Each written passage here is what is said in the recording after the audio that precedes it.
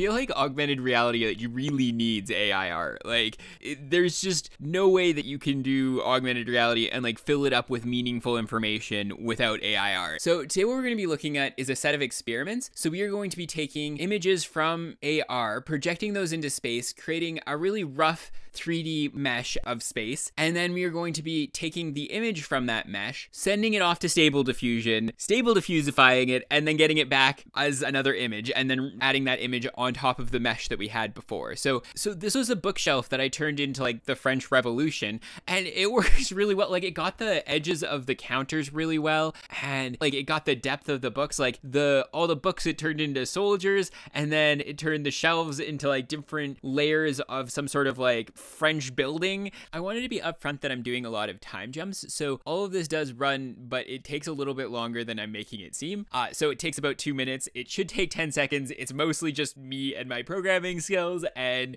oh, we'll talk about that in a moment. This steampunk one is so cool. Like, I just, it's so cool how you can see it at a bunch of different distances, and it actually kind of shows how this could have a lot of utility because you can kind of see buildings in different styles. And so, if you're doing some sort of like interior design, if you wanted to do a steampunk thing, uh, this is one way that you could look into doing it, which is really cool that it already has applications in my test demo run, or like that there would be things that you could see being useful. Like, if you wanted to do some decorating, that's how you could make it look more steampunk.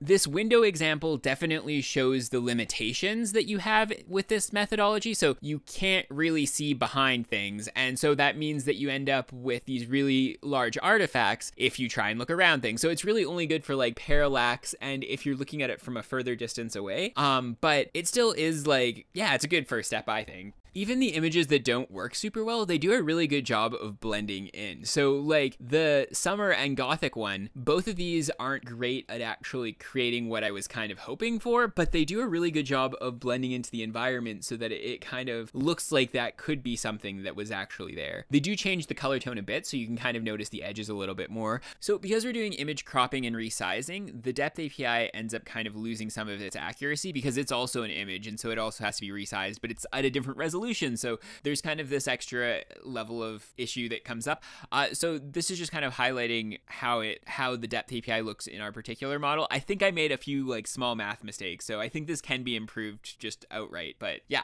the reason why we don't have any landscape recordings is for a similar reason. So the cropping and resizing ended up causing enough confusion that, yeah, it didn't work so well.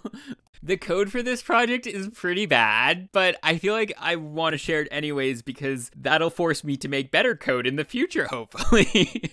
so, the really bad part of this particular code, like the thing that I regret doing, is uh, sending images as JSON. Not a good idea. Um, you probably knew that wasn't a good idea. So, JSON is a text format. This means it's about 10 times the size of other formats. It can take you about 10 times as long to open and close JSON messages, too, which is probably the bigger problem. This is definitely one of my more ridiculous pipelines. So basically what's happening is we are taking an image from the AR scene. We're also capturing its depth information as well. The image is being sent to a server, a Django channel server, which is a WebSocket server. That's being redirected to an NVIDIA GPU on, a, on the another client side. So the client is asking for data and then we're doing a transfer there. It's getting processed, then it's getting sent back, and then it's getting reprojected into WebXR. So we're basically using three different computers to do this. Uh, yeah, yeah.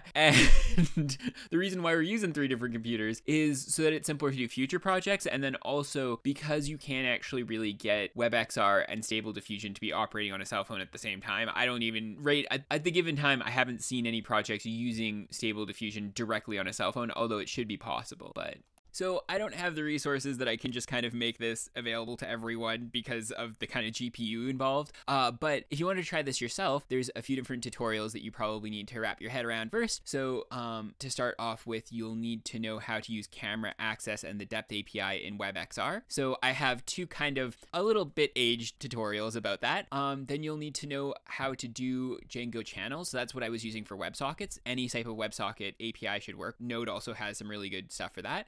Um, then you'll need to do some WebSocket stuff on the stable diffusion side of things, so on the kind of wherever your GPU is located. Uh, and that's just kind of some simple scripting that you need to get your head around. And yeah, that's the third component. So, so that's all I have for today. Thanks and have a good day.